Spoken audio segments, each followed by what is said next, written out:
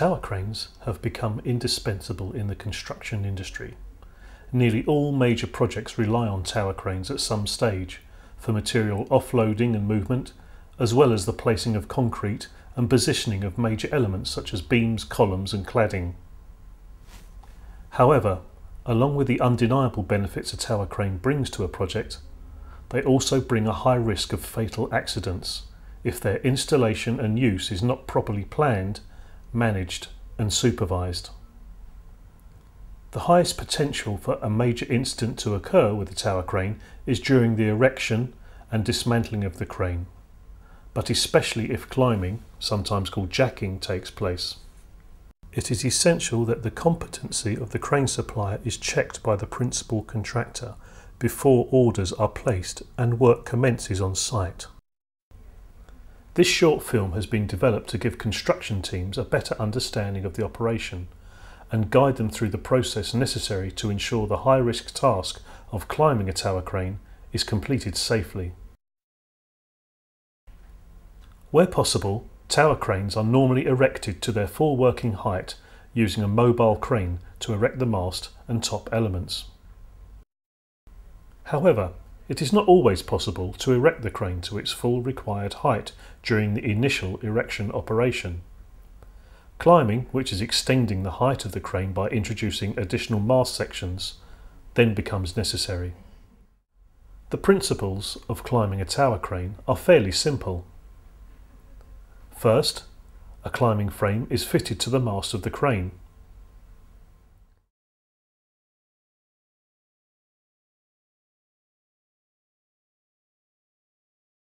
The new mast section is then lifted onto the climbing frame. This particular frame has a tray to accept the mast. The crane is then balanced about the ram position on the climbing frame, normally using a weight or a mast section at a predetermined radius. The joint between the crane head and the tower is unbolted. Next, the hydraulic ram of the climbing frame pushes the head of the crane up forming a gap between the mast and the crane top. The new mast section is inserted and joints reformed. The process is then repeated to add additional mast sections as required. In theory, a simple process, but in practice the process is highly skilled with high risks of serious injuries if it is not strictly planned, controlled and supervised. So why are tower cranes climbed? The answer is simple. In some circumstances, there is no better alternative. Circumstances such as that the crane cannot always be erected to its full height at the initial erection stage. Access may not be available for a suitably large mobile crane to lift the components into place. Once at the full height required, the crane may require ties, and if the project is the construction of a new building, then there will not be a structure present to tie the crane to at the initial erection stage, and the crane may have to be climbed at several stages during the building's construction. Tower cranes may also need to be climbed down. This may be where the tower crane is used on a demolition project, and as the demolition takes place, higher level ties are lost, necessitating lowering of the crane or perhaps at the end of the project, where a mobile crane with sufficient reach is not available, or cannot get access to dismantling the crane at its full height. The need for good planning, the strict implementation of safety measures and close supervision of climbing operations has been demonstrated by a number of incidents over the past few years. At Canary Wharf, three erectors died when a crane collapsed during climbing. In Shanghai, two died while climbing a crane. And in Miami, two died when a mast section was dropped on a project office during climbing operations. In Croydon, a crane collapsed during climbing. In this case, fortunately, no one died, but the operator was seriously injured. As earlier stated, planning and preparation is essential to help prevent such incidents. Planning for any climbing operation should take place at the earliest opportunity and form part of the overall planning process for the provision, erection and removal of the crane. The planning process is a joint activity and must include the crane supplier, the principal contractor and where the principal contractor is not the hirer, the hirer must also take part in the process. All site-specific risks associated with the climb must be identified as early as possible to allow sufficient time for the development and implementation of any necessary precautions and safe systems of work. It is essential that even before the crane is erected that sufficient time is allowed in the project programme for the climbing of the crane. At times when the site is clear of personnel and areas adjacent to the site are at their least busy period. Agreement to footpath and road closures as well as railway track possession time to provide adequate exclusion zones may be required. Laydown areas within the radius of the tower crane will be needed for climbing frame fabrication and new mast section delivery. Anchorage points for access to temporary or permanent ties to be installed before or during climbing may need to be agreed together with the orientation of the mast. During the planning phase, a risk assessment and detailed method statement for the specific climbing operation on the specific site must be prepared by the crane provider's appointed person. It is the appointed person who will have overall responsibility for the planning and supervision of the climbing task. The risk assessment and method statement must take into account not only the general risks of climbing, but all those generated by the site and surrounding property and activities, as well as the climatic conditions. Typical sections of the safety method statement will include details of the supervisor and climbing crew, together with proof of their training and experience to climb the specific crane in question. The safe completion of the climbing operation is dependent on the skill and experience of the team. It is therefore essential that their competency is checked. The method statement must also include the number of mast sections to be added or removed, details of how to balance the crane, details of how to assemble and erect the climbing frame, detailed sequence of the works including hold points, points in the operation that must not be passed until critical safety checks have been made by the supervisor. For example, checking bolt connections and guide rollers on the climbing frame before climbing commences details of all equipment used, weather limitations, exclusion zones, contingency plans if things go wrong, for example, breakdown of equipment mid-climb, problems balancing the crane, a sudden increase in wind speeds, what rescue arrangements are in place for riggers who may fall and be suspended in a harness, and how can emergency technical advice be obtained quickly? Relevant check sheets to be completed by the supervisor. The manufacturer's manual and climbing instructions must also be available on the day. The risk assessment and method statement must be checked and agreed by the principal contractor well in advance of the works. A second on-site meeting must be held a maximum of seven days prior to the climb between the crane provider's appointed person, the principal contractor and hirer to ensure all arrangements are in place and the method statement still takes account of the current site conditions and risks. The verticality of the tower crane mast needs to be checked at this point by a site engineer to ensure it is within limits for climbing.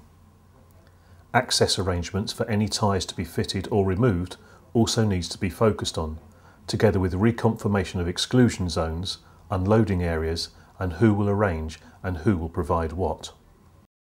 In the days leading up to the climbing operation, close monitoring of expected weather conditions must take place, and where conditions outside the manufacturer's specifications are expected, the operation must be postponed. Before any work can commence, there are a number of processes and checks that must be completed. The erection crew and any other new visitors to the site must receive a site induction that covers the site-specific risks and hazards that are likely to be experienced during this time on site, together with any necessary precautions and emergency arrangements. This must be followed by a method briefing given by the erection supervisor to his crew, the principal contractor's site management, and any other trades that may interface with the operation so that all are aware of what is to happen and when. Checks must then be carried out to the extent and adequacy of any necessary exclusion zones, including the effectiveness of excluding unauthorised personnel. Checks should also be made to ensure the crew have worked together before and fully understand their roles, and that any lifting equipment and accessories have current, thorough examination certificates. The manufacturer's climbing instructions are available on site and are in a language that the climbing team fully understands, and that the crane to be climbed is free from structural defects, is vertical, and safe to climb. Finally, a weather check must be undertaken to ensure conditions are safe to carry out the climbing process. The Meteorological Office or a number of specialist organisations can be contacted by phone, email or online to obtain weather information specific to the area of the site and at a specific height to be worked at. These checks must be carried out by the crane erection supervisor together with the principal contractor's manager. Both must then sign a permit to allow works to commence.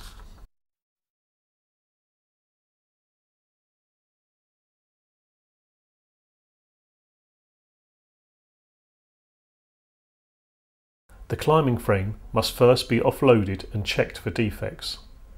The frame should have been checked in the plant yard before leaving for site and a copy of the completed and signed pre-delivery checklist should accompany the frame.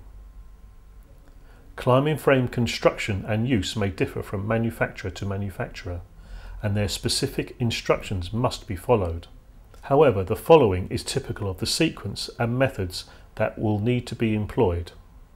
Once offloaded, the frame needs to be fitted onto the tower crane mast. The main section of the frame is lifted onto the mast and suspended by two climbing frame support lugs, which engage with brackets on the crane mast.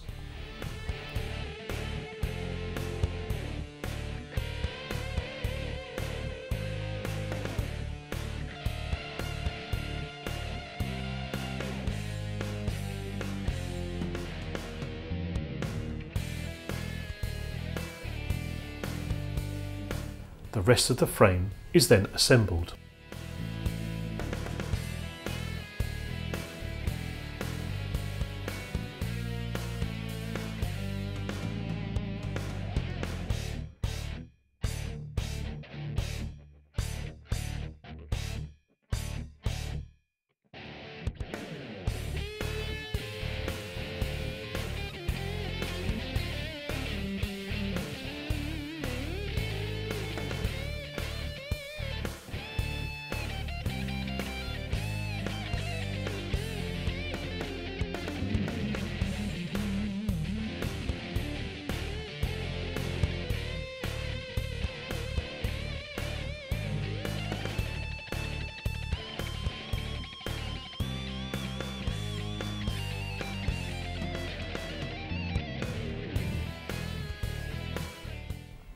Once the frame is in place and hydraulic pumps installed, it must be checked by the erection supervisor and then thoroughly examined by an independent party.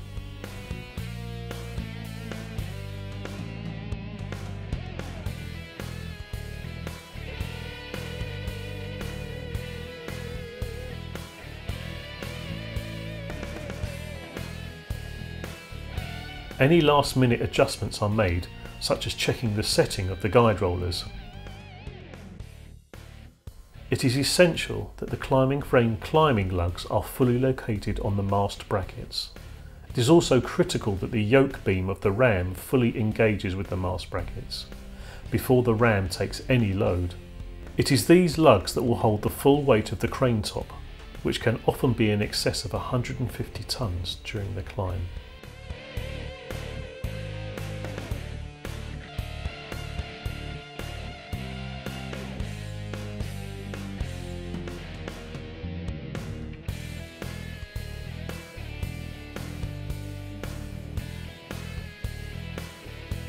With the climbing yoke correctly seated, the climbing frame lugs can be disengaged and the ram fully energised to climb the frame.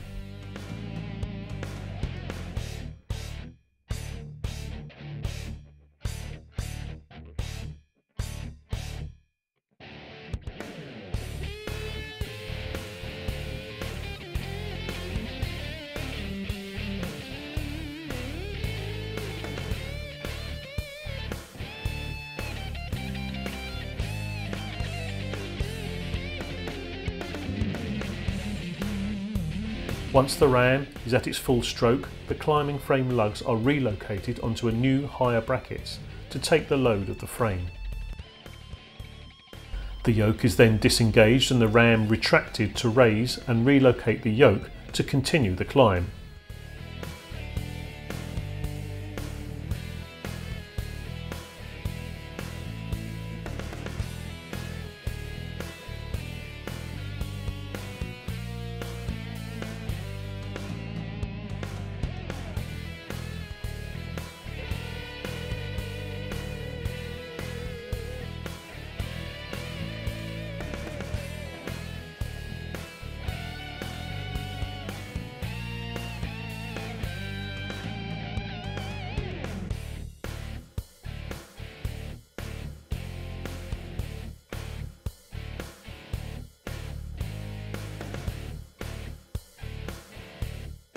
As the frame climbs, it engages with the head of the crane.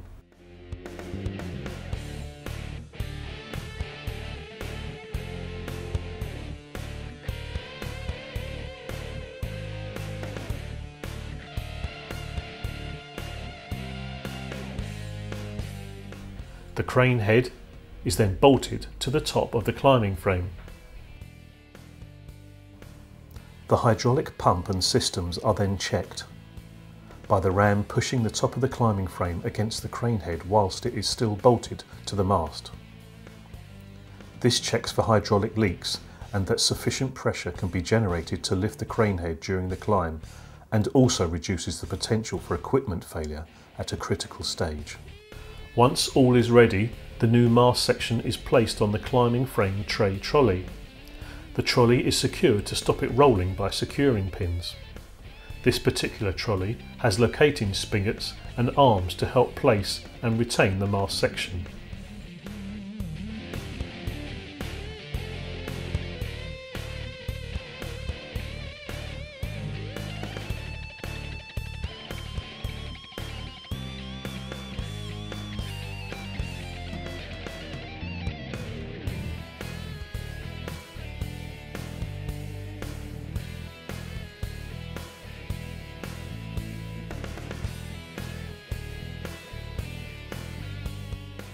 It is also good practice to secure the new mast section head to the climbing frame via strops or chains before it is unchained from the crane block to help prevent it toppling if the chains get snagged as they are removed or during the climbing operation. The crane now needs to be balanced such that the centre of gravity runs through the climbing frame ram. This balance must be achieved for the crane to be safely climbed. Balancing is normally achieved by suspending a known weight, sometimes a mast section, at a known radius, or setting a luffing jib at a set angle, or a combination of luffing angle and load. Manufacturers' instructions for doing this must be strictly adhered to. It is critical that inner and outer limits for radii or luffing angles to balance the crane as set by the manufacturer are not exceeded. From this point on, it is critical that the crane is not slewed the slew brake must be applied and the crane slewing mechanism isolated. It is also critical that the manufacturer's balancing limits for luffing the jib or trolleying the load in or out are strictly adhered to. The balance must now be checked. With the crane top secured to the climbing frame, the nuts of the bolts joining the crane head to the top of the mast may now be slackened off but not removed. The ram is slightly pressurized so that it pushes the top of the crane up and breaks the joint. The supervisor then checks the balance by checking that the gap at the joint at each corner is the same dimension. If the gap dimensions vary, the crane is not in balance. If the crane is not initially in balance, balance may be achieved by slowly changing the radius at which the load is suspended, by trolleying in or out, or changing the luffing angle. However, it is critical that this is only done within the balancing limits set by the manufacturer. If the crane cannot be balanced, the climb must not proceed. The joint must be reformed and expert technical help obtained. Once the crane is in balance, the climb may proceed. However, every time before the crane head is raised, the wind speed must be checked using the crane's own or another suitable wind speed indicator to ensure it remains within the specified limits. The driver then leaves the cab and goes to a safe place. The nuts to the bolts joining the crane head to the top of the mast are now fully removed. The ram is pressurised and extended to its full stroke. All the time the crane team constantly check that the crane is climbing vertically and true and that the climbing frame is acting correctly. It is during this period that the crane is in its most dangerous condition, with the entire load being taken by the ram. The main frame acts as a guide and is not capable of taking torsion loads. Once at the top of the ram stroke, the climbing frame lugs are re-engaged onto new mast climbing brackets. Again, it is critical that these are properly engaged. The ram may now be retracted, which disengages the ram yoke beam, which may then be raised and located onto a new set of brackets before the ram is pressurized again and lifts the crane head again. In this way, the ram lifts the crane and the climbing frame, then self-climbs until it can lift the crane again. The number of cycles required to push the crane head up sufficiently to place a new mast section in will depend on the type of crane and climbing frame.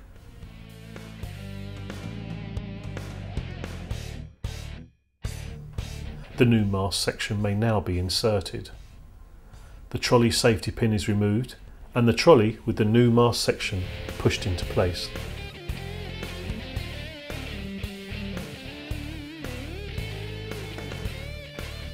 Bolts are now inserted into the joint between the bottom of the new mast section and the top of the mast section below.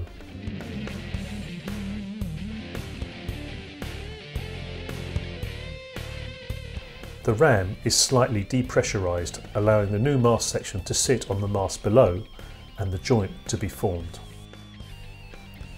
The erection team must ensure that the new mast sits correctly and evenly on all four legs of the mast below.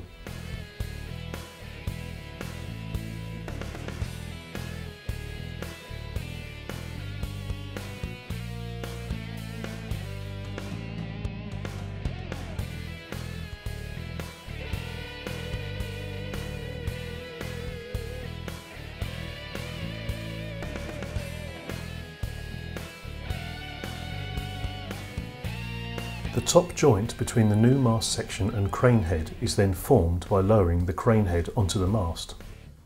It is again essential that during this process that the load of the crane top is taken smoothly and evenly on all four mast legs to prevent eccentric loads and the potential for the crane to topple.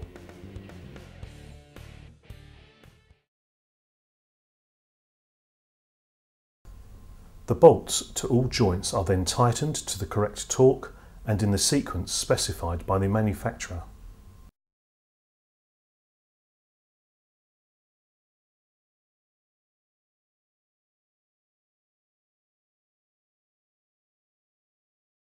Once all connections are reformed, the crane may lift another mast section onto the climbing frame tray, followed by rebalancing of the crane, rechecking of the wind speed and repetition of the climbing sequence.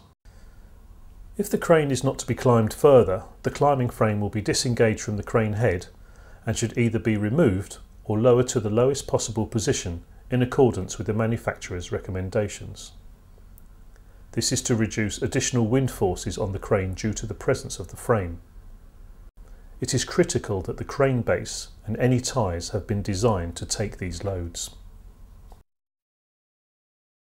Once the crane has been climbed to the height required, the crane supervisor then carries out a detailed pre-use inspection against a checklist.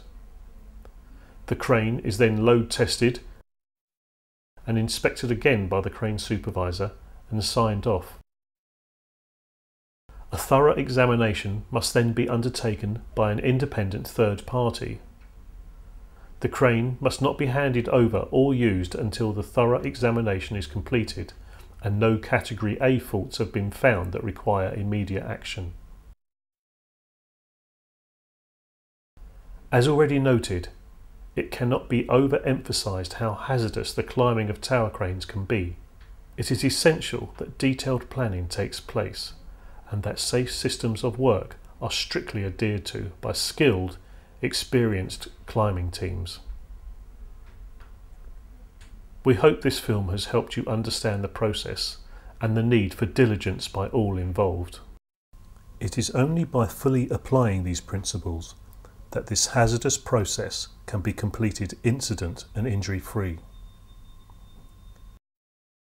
Further information about the safe erection, climbing, dismantling and use of tower cranes can be obtained free of charge from the Construction Plant Hire Association website.